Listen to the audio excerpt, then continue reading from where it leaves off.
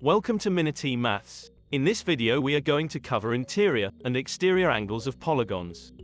We will explain how to calculate interior and exterior angles, how to find the sum of those angles, and how to find the number of sides of a polygon, given an angle. Practice questions and answers are provided at the end of the video. Subscribe and hit the notification bell for weekly videos. Firstly, let's look at this polygon. Here we have an interior angle, which is inside the shape. And here we have an exterior angle. Exterior angles are outside of the shape. The interior and exterior angle will form a straight line. Let's start by looking at interior angles. Here we have a triangle. The triangle is a very important shape when calculating the sum of the interior angles of a polygon. The most important thing to note is that the interior angles of a triangle will always add up to 180 degrees. Now let's look at this square. Notice that we can split the square up into two triangles exactly. We can use our knowledge of the interior angles of a triangle to calculate the sum of the interior angles of this square. As we have two triangles inside this square, the sum of the interior angles will equal two lots of 180 degrees.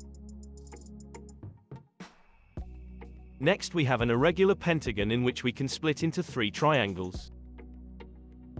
Therefore the sum of the interior angles will be equal to three lots of 180 degrees. Here we have a hexagon which can be split into four triangles. So the interior angles will add up to four lots of 180 degrees. Have you noticed a pattern here? Well, the number of triangles which can perfectly fit inside any polygon will always be equal to 2 less than the number of sides of that polygon. This allows us to create a formula which we can use to calculate the sum of the interior angles for any polygon. The sum of the interior angles equals n minus 2 times 180 degrees, where n is the number of sides. Have a look at this example.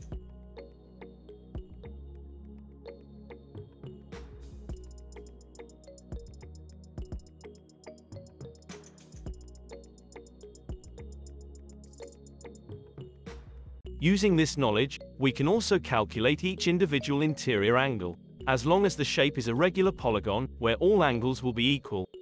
We do this by dividing our answer, for the sum of interior angles, by the number of angles or sides of that shape. For example, as this is a five-sided shape, we can divide 540 degrees by 5. Therefore, each angle of a pentagon is 108 degrees. Now let's look at exterior angles.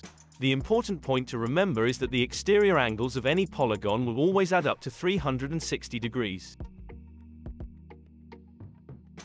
Additionally, if we know the interior angle, we can calculate the exterior by using the angles on a straight line fact. This is, that angles on a straight line will always add up to 180 degrees.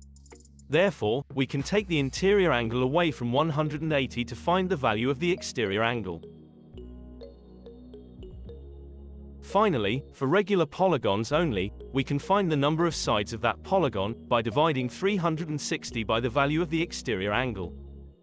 This will tell us how many angles there are, as well as the amount of sides. Now have a go at these practice questions.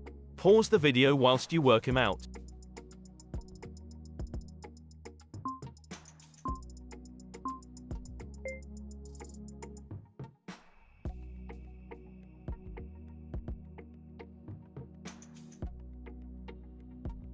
Thanks for watching Minity Maths.